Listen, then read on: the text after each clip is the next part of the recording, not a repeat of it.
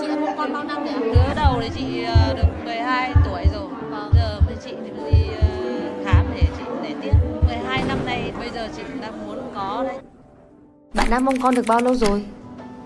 Em cũng đợi bé lâu rồi ạ, 2 năm rồi ạ. Vợ chồng em mong con được 4 năm rồi ạ. 3 năm rồi ạ. Ờ, 3 năm rồi ạ. 3 năm rồi. 10 năm ạ. 10 năm ạ. À, hôm nay là ngày thứ tư của tuần lễ khám miễn phí. Đã có rất nhiều các cặp đôi đã biết rõ về cái nguyên nhân hiếm muộn của mình. Hãy cùng Huyền đi và lắng nghe nhá. Em tên là Thêm ạ. Em tên là Huy ạ. Hai bạn đến từ đâu? Em đến từ Hưng Yên ạ. Hai bạn à, biết được cái chương trình khám miễn phí này qua đâu? Vợ chồng em biết chương trình qua TikTok. Bọn em cũng theo dõi TikTok của trung tâm lâu rồi. À, nhưng quan trọng nhất là hôm nay các bạn đã được bác sĩ chẩn đoán là nguyên nhân vô sinh là do đâu không? Nguyên nhân ờ, của em là nguyễn sắc thể chuyển đoạn. Nguyễn sắc thể chuyển đoạn.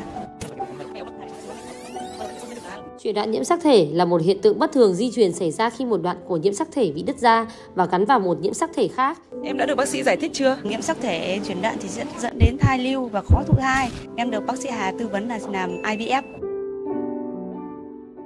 và đặc biệt là có những bạn liên quan tới mảng di truyền được phát hiện nhiều hơn. Có một cặp vợ chồng, tức là các bạn cũng đã được tư vấn kỹ và cũng đã xác định được là sẽ phải giải quyết bằng thụ tinh ống nghiệm kèm với việc là sàng lọc phôi, tìm được những cái phôi không bị lỗi về nhiễm sắc thể. Từ đó mới có được em bé. Cặp vợ chồng này cũng có một cái đặc biệt khi mà kết hôn xong, chưa được khám về tiền hôn nhân thì hai bạn không biết được là có một cái bị chuyển đoạn nhiễm sắc thể dẫn tới là hai cái thai kỳ và bạn bị lưu, bị hỏng. Đấy cũng là một trong những trải nghiệm không mong muốn của những người đang mong con.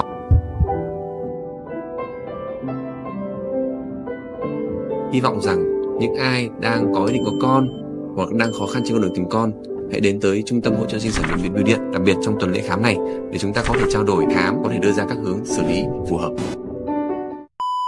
Đã là ngày thứ tư của tuần lễ khám miễn phí của trung tâm hỗ trợ sinh sản bệnh viện bưu điện. Mọi việc triển khai rất là nhanh, bệnh nhân chờ thời gian ngắn được tư vấn cũng gọn gàng Em đợi nhanh hơn so với năm ngoái. Chưa đến một tiếng, rất là nhanh. Tôi thấy rất là nhanh, cũng đợi ờ, khoảng một tiếng thì có kết quả thôi. Hai tiếng ạ. cũng nhanh 2 tiếng là có kết quả Tôi thấy như thế là quá nhanh rồi với tình trạng là bệnh nhân đông như thế này.